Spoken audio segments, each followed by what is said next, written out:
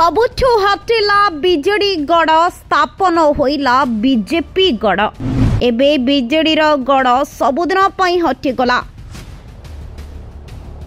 ସମ୍ବଲପୁରରେ ଧର୍ମେନ୍ଦ୍ର କରିବେ ବିଜେପିର ଗଡ଼। ହଁ ଦର୍ଶକ ବନ୍ଧୁ ସମ୍ବଲପୁରରେ ସ୍ଥାପନା କରିବେ ଧର୍ମେନ୍ଦ୍ର ପ୍ରଧାନ ବିଜେପିର ଗଡ଼। ସମ୍ବଲପୁର ଜିଲ୍ଲାରେ ଚାରୋଟି ବିଧାନସଭା କ୍ଷେତ୍ର ରହିଛି। ଆଉ ଗତ ନିର୍ବାଚନରେ ସମ୍ବଲପୁରରେ ବିଜେପି ନେତା ଜୟନାରାୟଣ ମିଶ୍ର କୁଚିଣ୍ଡାରେ ମନ୍ତ୍ରୀ ରବି ନାରାୟଣ ନାୟକ ବାଜିମାତ କରିଥିଲେ। ତେବେ ଧର୍ମେନ୍ଦ୍ରଙ୍କର ଏହି ରଣନୀତି ଖାଲି ସମ୍ବଲପୁରରେ ନୁହେଁ। ଦେବଗଡ଼ ଅନୁଗୁଳ ଜିଲ୍ଲାରେ ବି ବିଜେପିକୁ ସଶକ୍ତ କରିବେ ଧର୍ମେନ୍ଦ୍ର ପ୍ରଧାନ। ସମ୍ବଲପୁର ହେଉଛି ଏମିତି ଏକ ଲୋକସଭା କ୍ଷେତ୍ର ଯାହା ତିନୋଟି ଜିଲ୍ଲାକୁ ବ୍ୟାପୁଛି।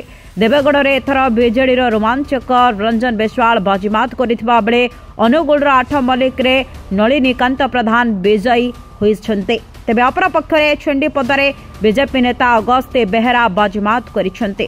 ଆଉ ଦୁଇ ହଜାର ଅଣତିରିଶରେ ଯେମିତି ପୁଣି ଥରେ ସମ୍ବଲପୁରରୁ ସେ ଜିତି ପାରିବେ ସେଥିପାଇଁ ଦଳକୁ ମଜବୁତ କରିବା ପାଇଁ ମୋଦି ସରକାର ମୋହନ ସରକାରଙ୍କୁ ସହଯୋଗ ନେଉଛନ୍ତି। ब्यूरो रिपोर्ट स्मार्ट न्यूज़ जोड़िया।